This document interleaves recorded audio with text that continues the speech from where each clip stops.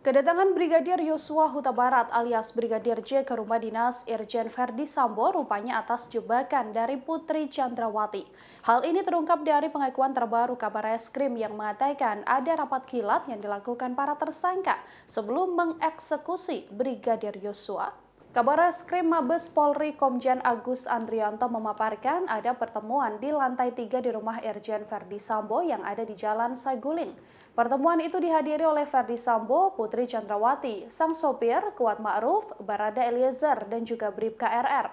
Di pertemuan kilat tersebut, Irjen Verdi Sambo menanyakan kesanggupan anak buahnya mengeksekusi Brigadir Yosua.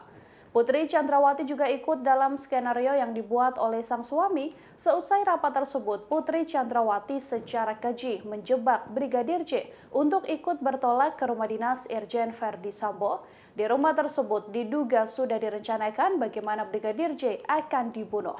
Tak hanya menjebak Brigadir J untuk datang ke rumah dinas, Putri Chandrawati juga menjanjikan uang pada para tersangka. Baradae sebagai eksekutor dijanjikan 1 miliar rupiah, sementara Kuat Ma'ruf dan Brib KRR masing-masing dijanjikan 500 juta rupiah seusai menghabisi nyawa Brigadir J.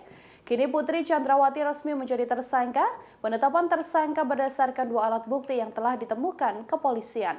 Di antaranya adalah gerak-gerik dari Putri Chandrawati yang terekam CCTV vital sesaat dan saat kejadian pembunuhan pada Brigadir Yosua.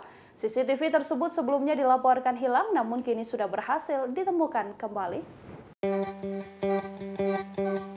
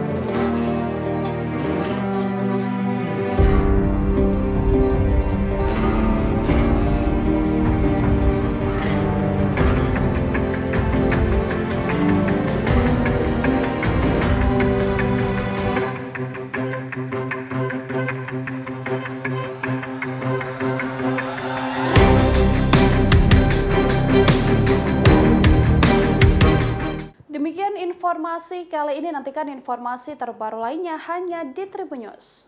Terima kasih sudah nonton. Jangan lupa like, subscribe, dan share ya.